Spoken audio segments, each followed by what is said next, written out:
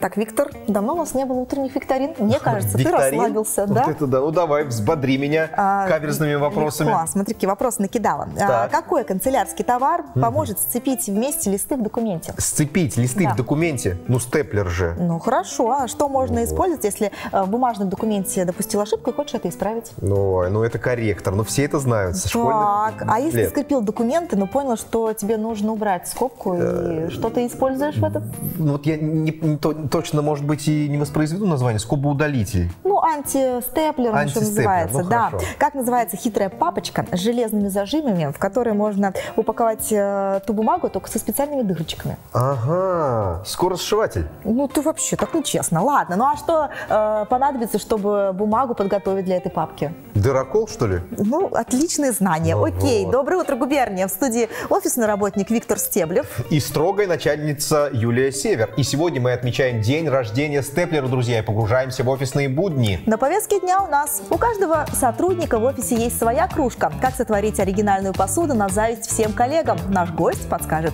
Забота о здоровье собак. Полезные советы по уходу за пушистыми друзьями в нашем следующем сюжете. Офисный стиль с изюминкой искусство подбора строгого образа. Мгм.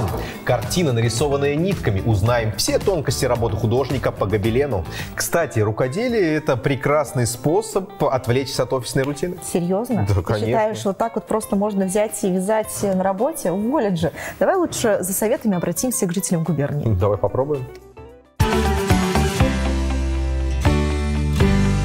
Поехать в путешествие, А если работа? взять отпуск. Зарядку, безусловно. А, Нужно пройтись, выйти на свежий воздух, подышать свежим воздухом. А предложить коллегам прокататься на оф- офисной мебели? Ну нет, офисная мебель. Это ущерб можно нанести. Нет, просто нужно сделать зарядку. Но у меня особо рутины-то не было работы. В общем-то, работала в свое удовольствие, да. То есть работа должна быть в удовольствие. В удовольствие, Конечно. да, да. прогулка всегда помогает переключить мысли, размяться, опять-таки зарядиться энергией, тем более, когда на улице такое солнце. На пенсию уйти. А если прям вот в момент работы, вот какие-то есть методы от- немножко отдохнуть от рутины работы? Подремать на работе. Не надо отвлекаться, работа должна быть э, в удовольствие. Вот, например, как у меня. Живу в Тольятти, приехала в мини-командировку в Самару. Любуюсь вашими достопримечательностями. переключиться на какую-то другую работу. Всегда есть способы отвлечься. Ну, выйти хотя бы прогуляться в соседний отдел, там, пройти куда-то, выйти на улицу в обед обязательно. Доброе утро, друзья! Поздравляем вас с этим прекрасным днем. А знаете почему? Потому что вы сейчас собираетесь на работу. Да. А сегодня у Новый нас, день. знаете, какой день? У нас сегодня день степлера, поэтому приходите на работу, берете его в руки и признаетесь ему, э, говорите ему все, что думаете о Все нем. В общем, хорошего. поздравляете. Да. поздравляете Наверняка его. помогает вам э, в офисных буднях. А кто будет сегодня нам помогать? Так, э, нам сегодня будет помогать наш э, постоянный гость. Это Анна Ермолаева, адвокат. И будем мы сегодня говорить о товарных знаках. Да, Здравствуйте, да. Анна. Доброе, Доброе утро. Ну, во-первых, э, офисные будни вам близки, да, наверняка. Конечно. Как раз э, Ежедневно мы, получается, в офисе выполняем ту или иную работу для наших же доверителей. А, Про товарный знак давайте поговорим. Многие сейчас регистрируют, многие выходят, э, делают, создают свой бизнес. И, собственно говоря, что нужно знать, чтобы начать Да, совершенно верно. Товарный знак – это достаточно актуальная тема. И согласно статье 1477 Гражданского кодекса, это индивидуализация услуг и товаров для юридических лиц, для индивидуальных предпринимателей. И с 29 июня 2023 года товарный знак могут регистрировать также и самозанятые. И получается, когда у вас есть товарный знак, это огромное преимущество по сравнению с конкурентами. То есть вы лишний раз можете э, своим покупателям, потребителям э, примелькаться. И это говорит о том, что вы сможете выйти, например, со своим товаром на те же маркетплейсы, потому что это одно из главных условий. И самое главное то, что когда у вас есть товарный знак, вы сможете защитить себя от недобросовестных тех же конкурентов. Поэтому, если возникает вопрос, регистрировать или нет, конечно же, регистрировать. Да, процедура, конечно, она достаточно длительная, сложная. Не могу сказать, что это простая. Тут нужно будет разобраться, а порой бывает и необходимо обратиться именно к специалисту, который занимается регистрацией товарного товарных знаков. У нас даже есть патентное бюро, куда можно обратиться. А, почему э, говорю, что нужно разобраться? Потому что, когда вы собираете регистри... собираетесь регистрировать товарный знак, необходимо оплачивать госпошлины. И они, как правило, не дешевые. То есть, если все госпошлины собрать, при процедуре, которую вы будете оплачивать, это порядка 30 тысяч рублей.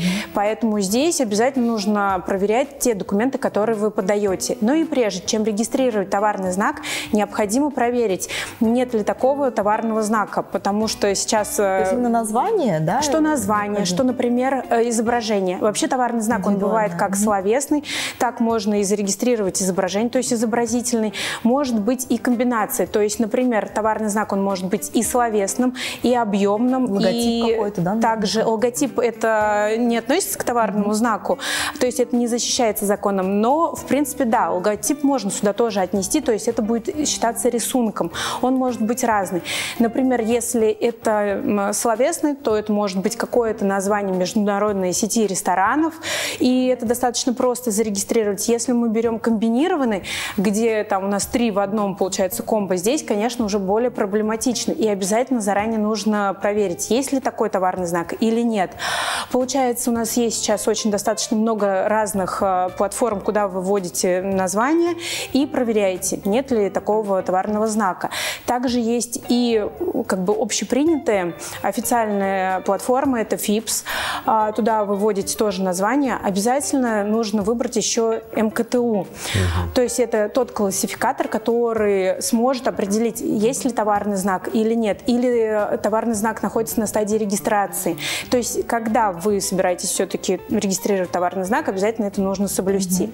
Если вы понимаете, что товарный знак такой наподобие уже существует, тут не нужно расстраиваться, можно его доработать. Здесь либо мы обращаемся к юристу, который именно занимается регистрацией товарных знаков, либо в патентное бюро, чтобы не получилось так, что вы будете сами додумывать и опять наткнетесь на похожий товарный знак. Вы уже обратились, и после этого вы уже переходите к регистрации именно товарного знака. Можно зарегистрировать как через госуслуги, так же через Роспатент.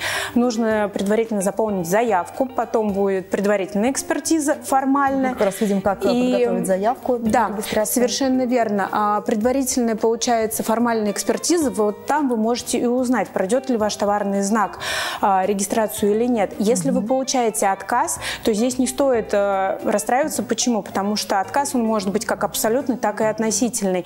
Например, если название и изображение имеет какое-то сходство с каким-то брендом, то здесь какой есть вариант? Можно обратиться к этому бренду, то есть, например, к магазину спортивной одежды, и а, чтобы они вам дали согласие о том, что да, вы хотите зарегистрировать товарный знак, и у вас есть какие-то общие, там, допустим, похожие критерии там, в слове, либо в слогане, либо в рисунке. Вы получаете это согласие от этого магазина, что они не возвращают а, для того, чтобы вы зарегистрировали свой товарный знак. И также обратно обращаетесь в Роспатент, подгружаете данное согласие и можете потом уже опять зарегистрировать свой товарный знак. То есть, если вы получаете предварительный отказ, это не конец, что вы не сможете угу. зарегистрировать. Просто сколько нюансов, сколько тонкостей процедуру. на самом деле. Я, я думаю, что мы э, в юридических тонкостях немного разобрались. Теперь давайте разберемся в тонкостях нашей погоды и обязательно вернемся к нам в студию, продолжим наш очень интересный разговор.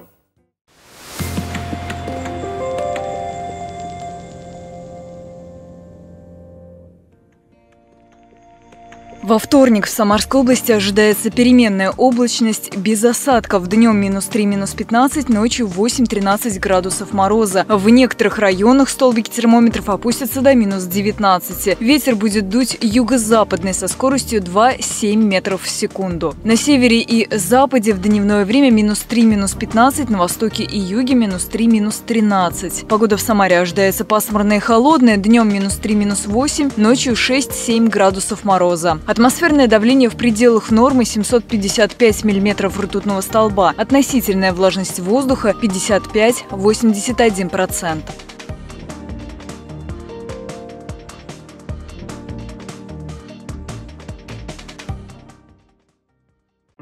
Что ж, мы продолжаем. Напоминаю, у нас в студии Анна Ермолаева, адвокат, и сегодня разбираемся, как же зарегистрировать свой товарный знак. Уже проговорили, что мы подаем а, заявку, проходит экспертиза. Вот экспертиза все прошла, ура. Нас стоит уже поздравлять, либо Да, еще вас не будет уже поздравлять, потому что вы получаете свидетельство на свой товарный знак, которое действует 10 лет. И в последующем как бы вы можете дальше как бы продлевать данное свидетельство, также подавать документы, и у вас будет свидетельство. Но каждый раз необходимо все равно следить за тем, что процедура, она меняется, что-то новое добавляется. Если раньше процедура оформления товарного знака была примерно около года, то сейчас уже в течение полугода можно оформить товарный знак. И самое главное, к, э, чему нужно также оформлять еще товарный знак, вы можете не беспокоиться, что кто-то сможет им воспользоваться. Кстати, прошу прощения, а вот если, например, я хочу зарегистрировать товарный знак «Самара», возможно это? Вот, а, здесь как раз есть тоже ряд ограничений, например, э, города, страны, либо не просто название услуги, а именно о той услуги, которую вы хотите продвигать, и будет это название, нет, вы не сможете зарегистрировать. Также мы не можем государственные символы и названия регистрировать. какие-то То есть тут ограничения есть. есть, опять же, ограничения, да. И если мы, например, хотим зарегистрировать тоже э, такое общепринятое слово, допустим, памперсы, мы уже не сможем его зарегистрировать. Но, например, взять слово памперсы и к нему придумать какое-то изображение, почему бы и нет. И здесь вы регистрируете уже изображение. То есть нужно а, сначала подумать, что вы хотите зарегистрировать, опять же, перейти на онлайн-платформу, например, на тот же сайт FIPS, посмотреть, есть ли тот или иной товарный знак, и уже дорабатывать. Но а, товарный знак необходимо регистрировать, потому что если кто-то им даже и воспользуется, разместит у себя на этикетках, либо на услугах, вы сможете с этого правонарушителя все-таки получить компенсацию. какая потому что есть у нас как гражданско-правовая ответственность, вы сможете в суд обратиться. У нас есть статья 1515 Гражданского кодекса, где можно получить компенсацию до 5 миллионов рублей. Также можно получить административную ответственность. Это штраф от 5 тысяч рублей до 200. Это статья э, 14.10 КОАП. То есть поэтому прежде чем чем-то воспользоваться, нужно понимать, есть ли на это право у вас или нет. Потому что те, кто обладает товарным знаком, у них все-таки исключительное право. Они имеют э, право давать вам воспользоваться вашим товарным знаком или нет. Ну и также, конечно, есть уголовная ответственность. Это статья 180 Уголовного кодекса Российской Федерации. Поэтому здесь нужно подумать, стоит ли пользоваться чужим товарным знаком или нет. Потому что если, например, вы на своей какой-то продукции, которую вы производите, разместили товарный знак чужой, который вам не принадлежит, мало того, что его э, у вас должны изъять, так вы должны его и уничтожить, то есть э, за свой счет. Не просто тот человек, который обладает товарным знаком, будет уничтожать, а вы должны самостоятельно это уничтожить. Помимо этого у вас будет гражданская ответственность и административная. А если с первого раза непонятно, то в последующем и уголовная ответственность. Анна, спасибо огромное. А, Я думаю, что сейчас все предприниматели сидели, записывали с блокнотиком, потому что э, просто все просто и понятно доступно. Спасибо большое. Что ж, Спасибо. ну а пока люди суетятся с документами, собаки радуются своей беспечной жизни. Давайте посмотрим. Мгм. Давайте посмотрим. Знаете ли вы, что первую вакцину вашей собаки нужно делать всего лишь через 8 недель? Да? Тебе делали, скажи? Сейчас еще сделаем. Вторая прививочка делается через 4 недели. Это, как правило, 12 недель жизни. Первая вакцинация делается без вируса бешенства. Туда входят комплексные вирусные заболевания, такие как чума, энтерит, гепатит, парвоаденовироз и лептоспироз. А во вторую входят те же самые заболевания, плюс дополнительно бешенство. В следующий раз собачка прививается в возрасте 12 месяцев и далее каждый год. Собачек обязательно мы прививаем с бешенством. Схема вакцинации стандартные и подходят для любых пород и любых э, возрастных и э, весовых категорий собак. То есть они для этих категорий стандартные. Касательно индивидуальной чувствительности.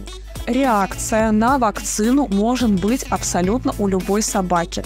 И абсолютно в любую вакцинацию. Даже если собака прививается каждый год на протяжении 10 лет, на 11 раз может случиться аллергическая реакция. Поэтому ветеринарные врачи рекомендуют первые 10-15 минут находиться либо в помещении клиники, либо возле клиники. И если вы заметите, что с вашей собачкой что-то не так, она себя не так ведет, стала резко вялой, ее вырвало, появились отеки на мордочке, зуд по телу, покраснение глаза, клюшек, нужно сразу же вернуться в клинику и обратиться к ветеринарному врачу.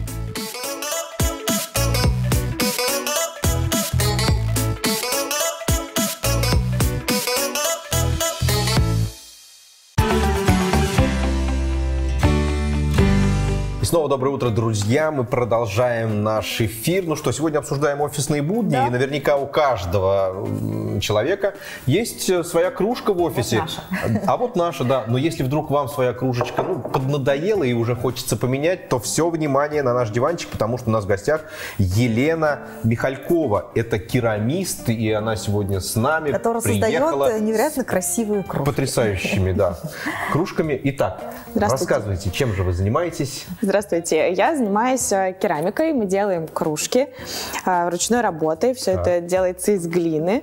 То есть это руками? Это вот, э, руками. Идеальные формы создаются или все какая-то есть заготовка? Была заготовка изначально, которая сделанная руками с нее. Mm-hmm. Это именно в этом случае. Mm-hmm. То есть есть разные способы, мы разными совершенно способами пользуемся. Именно это была заготовка кружки. Потом с нее сняли гипсовую форму, потому что у нас есть разная глина. Она получилась потому что идеальная, да? Да с которым можно размножить, просто mm-hmm. сделать одинаковые кружечки. Э, и сделали гипсовую форму, туда налили глину, шликер называется, и она вот получилась такая, их много можно сделать, одинакового размера, разными цветами покрыть, то есть тут уже творчество включается больше при а вот как создании развода. дизайны? Э, не знаю, подсматриваете, сами рождаются, либо, может быть, есть какие-то тренды в керамике, и вот за ними следите? Тренды, конечно, есть, но именно разводы получились учились, а, можно сказать, от сердца. Просто видели, разводы, они бывают в разных э, видах искусства, можно сказать. Где-то в живописи, еще посмотрели, есть техника, допустим, на воде краски разливают и на листочке бумаги отпечатывают. Мы подумали, а что ж мы на кружке не можем также отпечатать глазури? Так, таким образом развели разную глазурь, отпечатали, но в процессе э, того, как ты создаешь керамику, у тебя свои какие-то идеи уже mm-hmm. рождаются, как это оптимизировать, делать, как меньше глазурей расходовать. И э, получилась такая техника, мы ее нигде на самом деле не встречали, просто сами пользуемся. Возможно, кто-то уже придумал это до нас, как mm-hmm. все это. Чего боится эта посуда? Я не знаю. Может быть, нельзя кипяток наливать? Может Нет, быть, нельзя микроволновую посуда печь? абсолютно функциональная, можно и кипяток, Она боится и высоты. Высоты, да, я думаю, да. Боится. И твердой поверхности. Боится кафеля. Да, можно, ну, лучше не кидать на пол, как и всю керамику любую, там, магазинную. В общем, я всегда говорю, что у меня такая же кружка, как в магазине, только красивая. Да. А почему, а почему керамика бьется? Ну, хрупкая история. Это потому что из глины состоит это угу. все дело бьющееся. Белая глина. Тут светло-жгущаяся, да, керамическая масса беленького цвета. А, Бывает она всякая разная. Она а черная красная. это как? Это черная просто черная. Да, глазурь просто черная. А, это черная глазурь. Угу. А можно, пожалуйста? Да. То есть глина такая же белая, да. а глазурь уже черная. А глазурь цветные, да, Смотри, угу. тут э, ты выпиваешь э, кружечку кофе, э, чая и видишь вот эти невероятно красивые разводы, акварельные практически. Очень классно. А возможно ли сделать прозрачным нет, это только стекло. Это только стекло. Ну нет, глазури прозрачные есть. То есть есть такие техники, когда не глазурями разукрашиваешь вообще кружку, а называется это подглазурные краски, ангобы. Можно кистями разукрасить, там какие-нибудь рисунки нанести и потом покрыть прозрачной глазурью. Она до запекания белого цвета, а потом происходит волшебство в обжиге, а, она становится прозрачной. Сколько рождается кружка? Вот мы пьем, даже не задумываемся, что это наверняка дело не одного дня. Не одного дня, да, совершенно верно. В процессе лепки, то есть это сначала ты лепишь именно изделие, ну в данном случае это литьем сделано, литьевая глина жидкая, это побыстрее получается. Угу. Если мы делаем ручками, ручная лепка, это ты сначала лепишь, допустим, кто-то час лепит, кто-то пять минут по-разному в гончарном круге еще можно. Потом это дело нужно высушить все. Примерно сутки точно должно все спокойно, в зависимости от глины, должно спокойно все постоять при комнатной температуре. Потом это нужно все зашлифовать и поставить уже в печь. Угу. В печи это жжется примерно сутки, то есть уже два дня у нас прошло. Потом мы все это дело вытаскиваем. Ой, сколько? А бывают одинаковые кружки? Нет. Я предлагаю об этом поговорить в следующей части нашего разговора. Ну что ж, друзья, о керамике мы немножко узнали, а Татьяна Пецина спешит к нам на помощь, потому что у нее тоже есть что-то интересненькое. Давайте посмотрим. Существует множество эмоций, которые мы испытываем, не находя при этом нужных слов, чтобы описать свои ощущения, и уж тем более дать им название. А они есть. Зенозина – это когда с возрастом начинает казаться, что годы неумолимо летят, проходят все быстрее и быстрее. Как следствие, эллипсизм, к нему склонны уже более пожилые люди. Связано с грустью от осознания того, что человек не увидит будущего своих детей или внуков. Главное после такого не впасть в состояние фугу, когда неосознанно что-то делаешь. Например, говоришь, готовишь и, в принципе, перемещаешься по квартире, а после этого ничего не помнишь. Прийти в себя поможет телефонный звонок, даже если он фантомный. По-научному называется синдром фантомных вибраций. Испытывать такое ощущение наиболее склонны те, кто проявляет беспокойство по поводу связи с друзьями и близкими. Все хотят хотя бы на время, но снова оказаться в детстве. Частая ностальгия по беззаботным временам называется либеросис. Но самый распространенный из сложных эмоций все же считается дежавю. Когда человеку кажется, что он уже бывал в незнакомом месте, хотя такое невозможно. Остается мало изученным феноменом. Как утверждал Фрейд, разгадка связана с памятью о материнском лоне. Надеюсь, со мной вам было интересно. Пока-пока. Что ж, а мы продолжаем наше офисное чаепитие Мгм. из э, красивых кружек. К сожалению, они пустые, но э, пьем из наших внутренних. Да? А, представляем вам еще раз Елена Михалькова, керамист у нас в гостях, и как раз рассказывает, как же создаются эти кружки. Мы уже узнали, что это два дня примерно, да? Два дня, Минимум. это сначала два дня происходит, я еще Ага. дальше не рассказала. Так, Мы давайте. вытаскиваем один раз обожженное изделие, оно просто белого цвета, то есть такое вот светленькое, и надо все это дело покрыть глазурью. Ну, то есть покрывается глазурью достаточно быстро, но потом еще сутки нужно поставить в печь, еще сутки проходит. То есть минимум три дня Мгм. цикл производства. Вот и и потом еще, возможно, нужно будет какие-то доделки делать. То есть глазурь не обязательно ровно ложится, там есть какие-то дефекты, это еще раз, допустим, на сутки надо поставить. Сколько у вас э, дома посуды? Вы Каждый раз, каждое утро начинаете Да. с новой? Можно сказать, да. Все самые любимые собираются, конечно же, в коллекции. Магазинная посуда уже полностью истребилась дома. Она не, не находит себе места, она уехала в- на деревню. Наверняка отслеживаете тренды, как уже да, сказали в первой части нашей беседы. А, Вот сейчас я заметила, что любят э, такую разношерстную посуду. А, ну да. Это правда? Да, сейчас не обязательно, чтобы у тебя был комплект. комплект дома на 12 персон одинаковой посуды. Мгм. Я всегда говорю, что кружку надо брать под настроение, а не под интерьер. Это может быть абсолютно разное. Может иногда хотеться маленькую черную кружку, потом Мгм. ты хочешь выпить много чая, ты берешь Мгм. большую белую кружку, потом для капучинки у тебя другая какая-то Хорошо, а история. бывают одинаковые кружки? Вот мне хочется, например, две одинаковые вот такие. Какая она легкая, слушай, как вы Ну, этого вот добиваетесь, а? Такая глина, с, э, облегченная сама по себе керамическая масса. Аккуратно, боится это. кафеля, ты помнишь? Иногда бывает, что отскакивает, и все хорошо с ней происходит. Вот. И мы делаем литьем, это достаточно тонко можно сделать, поэтому получается легенькое. Две кружки одинаковые можно попытаться сделать, они будут, допустим, одинаковой формы и размера, но разводы абсолютно неповторимые. Это все мы видим только после обжига. Мы наносим, допустим, одинаково, одинаковыми цветами, одинаковыми нами. Все это. А в процессе обжига разводы по-разному себя проявляют. Черная, иногда глазурь больше проявляется, иногда белая. А бывает такое, что вот э, запланировала кружку, ну я не знаю, там фиолетовую с таким-то дизайном, а на выходе вообще абсолютно другой и Да, не нравится? Есть такое. Да? То есть Особенно, когда ты задумываешь, у тебя до и после, там, ожидание и реальность часто меняется. Но чаще всего происходит, наоборот, что не нравится тебе, а ты не ожидал, а получается вау. Ты такой вообще... То есть, получается, от настроения мастера тоже зависит многое? Да, мне кажется, да, даже от, от температуры за бортом на улице. А я знаю, то, что каждая глазурь при обжиге ведет себя по-разному. Да. Это правда? Э, Не знаю, вот, может, у вас есть какие-то образцы? Как вот вы понимаете, какая будет э, в итоге? Образцы есть, мы обязательно тестируем. То есть глазури нужно подружить с глиной, во-первых, там должны быть определенные характеристики Мгм. соблюдены. Это такой технологический процесс, его надо изучать очень долго.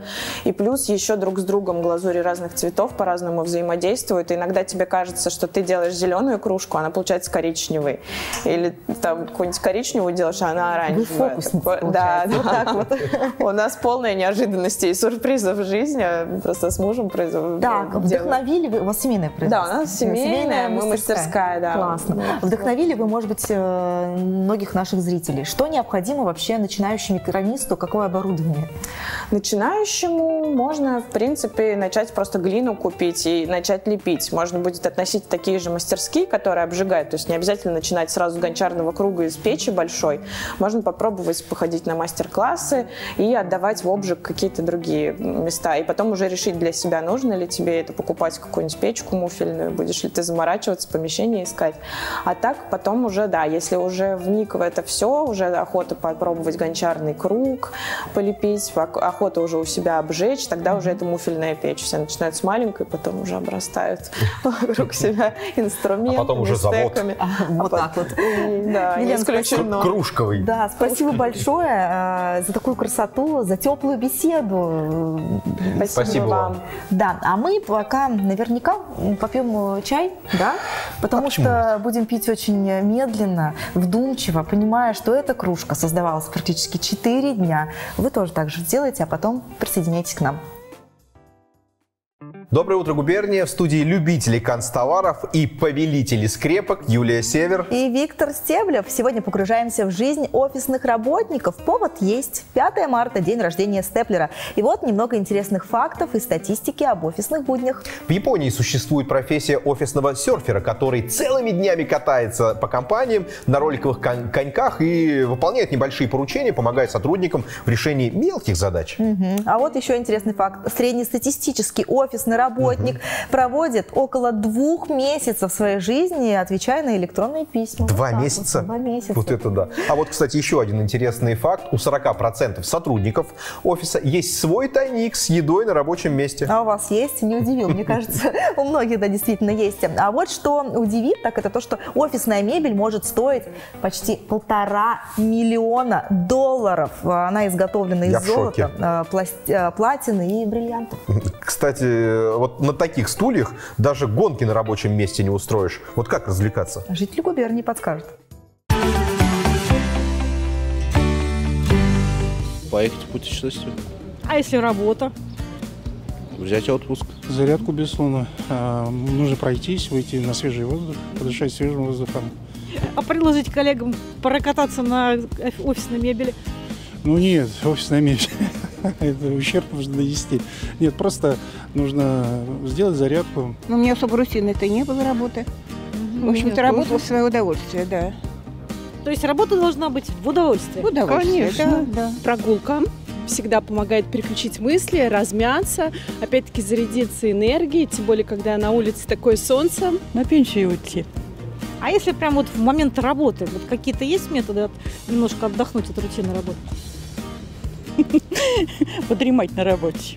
Не надо отвлекаться, работа должна быть э, в удовольствие. Вот, например, как у меня. Живу в Тольятти, приехала в мини-командировку в Самару. Любуюсь вашими достопримечательностями. Переключиться на какую-то другую работу. Всегда есть способы отвлечься. Ну, выйти хотя бы прогуляться в соседний отдел, там, пройти куда-то, выйти на улицу в обед обязательно. И снова доброе утро, друзья. Мы продолжаем программу. Тем временем, пока мы здесь на диванчике, вы, наверное, собираетесь в офис, и мы хотели бы о вас позаботиться и сказать, а как же правильно одеваться на работу и в каком стиле Да. а, сейчас наиболее модно и интересно выходить на работу и быть в офисе. Мы поговорим с нашей гостьей. Это Ольга Симонова, имидж-стилист. Доброе утро. Доброе утро. Доброе утро. Мы сегодня с Виктором наверняка образец, как не надо собираться в офис, потому что слишком расслабленный стиль, что-то такое как раз для утренней программы можем себе позволить. А все-таки человек работает в офисе. Обязательно белый верх, черный низ? Расскажите, пожалуйста. Смотрите, давайте начнем с ваших образов, раз уж вы сами об этом упомянули. Да. А, во-первых, действительно, образ с расслабленным делает не конкретные вещи, а их сочетание. Угу. Если мы поговорим про мужскую стилистику, то, возможно, не лучшим бы как бы, решением для офиса были бы джинсы плюс э, носки, кроссовки, а в то же время рубашка пола или майка пола – это вполне уместный вариант, особенно если нет очень строгого дресс-кода. Чаще всего в офисах сейчас такого нет. Поэтому, если мы бы это замиксовали с брюками, э, сверху взяли бы пиджак, то смотрелось бы вполне достойно. Или даже мог быть какой-то плотный кардиган, не рыхлой вязки, не как будто бабуля вязала, а именно такой фабричный трикотаж, формоустойчивый, с подплечниками даже небольшими, то смотрелось бы тоже достаточно хорошо, особенно mm-hmm. если эта работа, когда мы про кардиган говорим, не связана с клиентским сервисом, ну какой-нибудь отдел логистики, допустим, да, вполне допустимо. Поэтому рубашку я бы оставила. То же самое касается и вашей эстетики, Юлия. Потому что, допустим, сочетание такой тоже действительно расслабленной рубашки с а, светлыми брючками, оно чуть-чуть такое а, выходного дня лук. А брюки мы можем ведь оставить. Мы можем их использовать с практически любой блузкой, любой сорочкой рубашечного типа, как какой-то блузкой. И смотрелось бы тоже очень хорошо. Более спокойно может быть обувь, а прическа у вас вполне достойная, волосы собраны, красиво выглядеть, достойный макияж. Поэтому это тоже важные черты ну, офисного стиля. Поэтому здесь мы что можем, какой вывод отсюда сделать? Главное не конкретные вещи, а их сочетания. сочетания. Да. Угу. Какие же сочетания в моде? Так. То есть что бы мы могли сделать, да, еще, кроме вот ну, того, что перечислила? Это могла быть футболка и жакет. Тоже красиво. Какие жакеты сейчас в моде в женской? Это, конечно же, объемные, широкие жакеты. И, кстати, с ними тогда можно носить, ну вот любые брюки, которые у вас там где-то загрустили, затесались, э, скучают, скучают, и вы понимаете, да, что они не модные. Допустим, самые модные брюки это широкие такие, да, объемные. Но у вас их нет, или они вам не идут, или у вас кроме них еще есть клешоны, или вот как здесь слим какие-то, или э, брюки морковки, которые так вот конусом идут. Ну что с ними делать? Ну я не скажу, девочки, выбрасывайте. Мы не за это, мы за рациональность, да, здесь всегда. Поэтому объемный жакет, под него топ или футболка уже здорово. И тогда жакет, который будет такой длинненький, он все-все-все особенности скроет, и девушка будет выглядеть и современно, и уместно. Поэтому берем и комбинируем.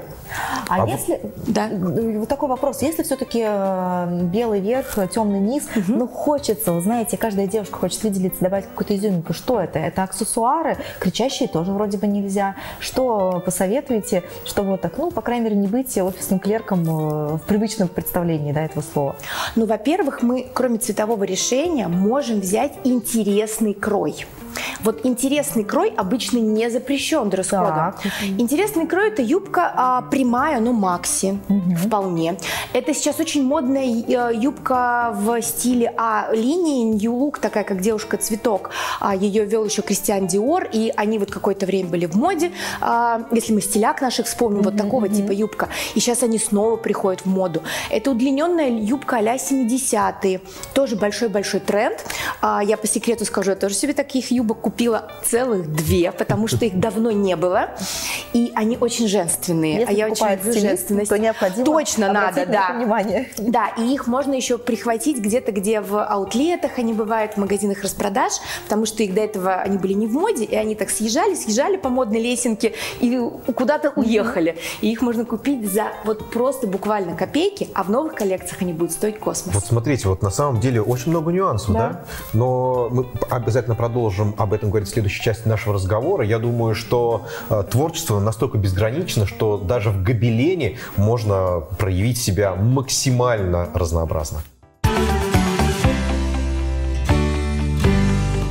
Хлопковые, шерстяные, акриловые. Одни нитки более толстые, другие полупрозрачные или распадающиеся на волокна. Выходят за пределы картины, свисают вниз, словно кудри, вызывают множество ассоциаций у зрителя, заставляют задуматься, а в этом и есть главная цель искусства.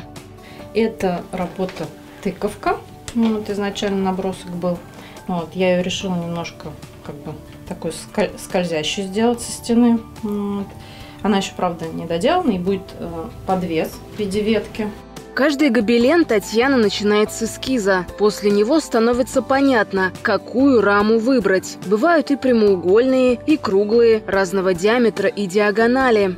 Еще один подготовительный этап – натяжение нити основы. В них вплетаются нити утка. Как раз они-то и создают рисунок ты все равно работаешь пятном, линией, цветом, особенно с цветоведением, это тоже все едино получается.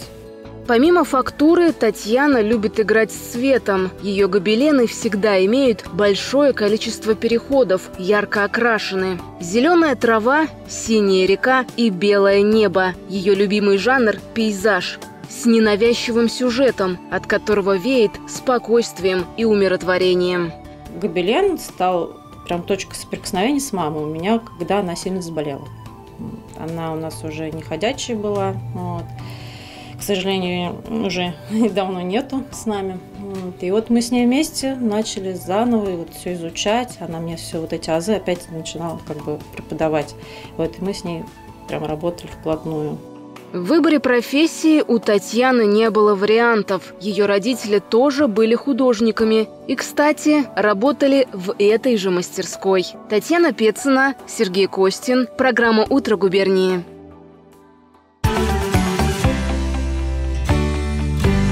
Что ж, я думаю, многие, собираясь на работу, думают, что же надеть. Э, все девушки уж точно открывают гардероб. И чаще всего палочка-выручалочка – это платье, потому что его, возможно, даже не придется с чем-то комбиновать. Вот э, правда, права ли я, Ольга Семенова мне сейчас подскажет, наш имидж-стилист, э, какие платья стоит выбирать. Знаете, такое платье, палочка-выручалочка, надела, не мнется и пошла покорять этот мир. А, действительно, платья многие девушки любят именно за их функциональность и за то, что они говорят, голова не болит. Угу. Платье уже готовый образ. Платье выглядит чаще всего все-таки женственно и привлечет внимание и молодых людей, да, и девушкам тоже, девушки в платьях тоже нравятся, они позитивно их всегда оценивают. И действительно, женщины комбинируют их хорошо, достаточно, ну, добавить, что там, в шарфик можно, да, какие-то серьги, туфельки, и ты уже красивая и нарядная. Какие платья я бы посоветовала точно нашим девушкам э, примерить? Первое – это платье на запах. Угу. Платье на запах – это правда палочка-выручалочка, потому что э, если вы чуть изменились в размере, если вы еще не успели похудеть к весне, да, весна, в принципе, только началась, да, у нас да, у нас море времени у всех. То в этом платье силуэт выглядит э, красиво, X-образно, есть выделенная талия, подчеркнутый бюст, и в то же время это очень уместно в офисе, то есть это не выглядит праздничным как-то или чрезмерно как-то вызывающим. Это здорово. И всех стройнит. Ну и не сильно строго. Да, и не сильно строго, да, да. И вот как раз, чтобы не выглядеть как все, тоже оно подходит. Второй очень удачный вариант – это все еще платье-футляр. Просто в этом сезоне я бы посоветовала их покупать для офиса именно подлиннее, две ладони ниже колена. Ладонь по колено сейчас не очень современная тема, а ладони выше колена и еще повыше не очень хорошо в офис, но да. они тоже в моде. Поэтому что-то такое... Да, поэтому если вы возьмете такую миди-длину, миди, то стремящаяся к макси Да, мидакси, она так вот называется, что-то среднее между ними. Это тоже всегда очень-очень красиво и здорово. А еще я могу посоветовать платье, которое наверняка есть в гардеробах у девушек, потому что мы не первый сезон здесь в студии про них рассказываем. Это платье комбинация, но носить его не надо как комбинацию, да? Так. Его носить надо под что-то. Под жакет, под кардиган, сверху надеть э, блузку То есть, можно. Собственно говоря, вот, возможно... Да, возможно, платье. у меня там сверху да. платье. Да, да, мы не знаем mm-hmm. этого, да. И это комбинаторика хорошая. Его можно на мероприятие надеть там в более расслабленном варианте или более праздничном, а в офис использовать вот так. Универсальная вещь и всегда будете смотреться хорошо, э, особенно если ну, красиво комбинируете. Красивая обувь у вас будет, разумные украшения какие-то.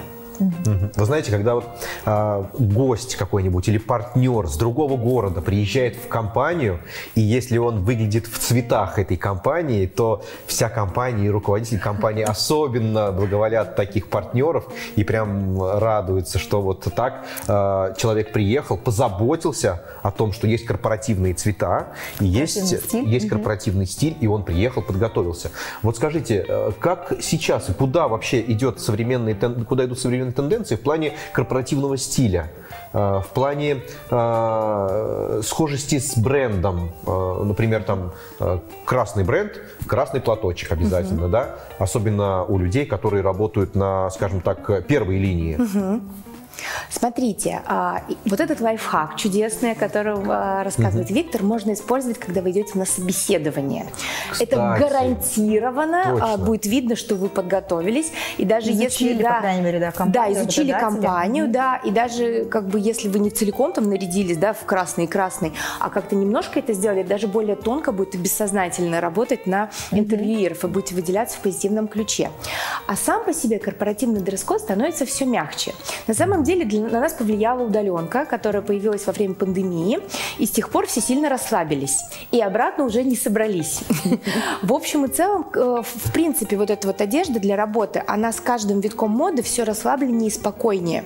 Сейчас уже действительно только в офисах компаний э, ну, банковская сфера, допустим, или там автозаправки, требуется такое четкое выполнение и элементы корпоративной культуры жесткие. Для всех остальных мы видим даже в униформе врачей, какое появилось разнообразие, да, раньше было там люди в белых халатах и все, а сейчас есть и модная какая-то одежда, и они цветные есть, и в зависимости от типа фигуры и там какого-то, какой-то подачи личного врача уже есть. Ну, то есть если уж даже тех, у кого униформа это коснулось, что уж говорить про офисных сотрудников. И все же разумные какие-то принципы, это более закрытая одежда. Она в любом случае говорит о том, что вы думаете не о том, чтобы демонстрировать себя как красивую женщину, угу. а о том, чтобы показывать свои достижения, которые есть в работе. И это важно, потому что именно это тоже, если мы говорим про бессознательно, про психологию стиля, руководители считывают как ну вот желание и возможность mm-hmm. отдавать себя и свою энергию в, в рабочее время, безусловно. И, конечно, это всегда оценивается более Ты уже психология пошла. Да. Спасибо большое, Ольга. Прекрасно, Что спасибо. Ж, а, в офис собрались, но не спешите выбегать. Посмотрите наш следующий сюжет, он очень интересный, а потом уже бегите на работу. Молчишь, Мишель? Да уж я за тебя говорю. Благодарен, Миропа Давыдовна. Очень благодарен. Это не профессиональные актеры, а топ-менеджеры крупных компаний. В их числе и Анастасия Толочная, заместитель директора самарского филиала компании «Ростелеком». Она готовится выйти на большую сцену в спектакле «Волки и овцы» по пьесе Островского в рамках проекта «Знаменитости детям». И миссия представления благотворительная. Все деньги от продажи билетов пойдут на гранты для талантливых детей из малоимущих семей. Компания «Ростелеком» а, участвует а, в развитии в основном крупных а, цифровых проектов. И в год семьи нам особенно важно посмотреть немного в другую сторону, еще и в социальную, поддержать семьи, когда это необходимо. Тех ребят, которые там, с одной стороны развиваются не только там в цифровом мире, но и развиваются в творческом мире. Мы помогаем талантливым ребятам, талантливым детям из спорта, искусства, музыки. Мы приобретаем им музыкальные инструменты, спортивную экипировку, оплачиваем поездки на соревнования. Идея создания проекта знаменитости детям появилась в 2011 году. В качестве актеров приглашают не профессионалов, а руководителей крупных компаний. За месяц ежедневных репетиций они должны научиться сценическому движению, работе на сцене, постановке голоса. Это буквально актерские курсы с нуля. И то, к чему приходит наш актер за период подготовки проекта, действительно поражает. Ну, конечно, три! Она и ее тетки. Ну, честь имею, дамочки. Актеры работают бесплатно. Их главная награда – благое дело. Каждый спектакль помогает подарить радость от 20 до 100 мальчикам и девочкам в год. Всего за время существования проекта состоялось 37 спектаклей в разных городах России, 6 из которых в Самаре. Приобрести билеты можно на сайте федерального проекта знаменитости детям.ру. Премьера состоится 19 марта в Самарской государственной филармонии. Николай Гришечкин, Екатерина Лесная, Дмитрий Алаторцев. Утро губернии. На сегодня все. Всем хорошего дня. С вами были ведущие Юлия Север и Виктор Стеблев. Пока-пока. Так, ну что, ты задумался о работе в офисе? Ну, конечно, я решил, что мой офис теперь здесь. Принеси мне, пожалуйста, кружечку, кружечку кофе. Эй, я тебя не секретарь, ты что? Ну все, не нравится мне такой офис. Домой поеду.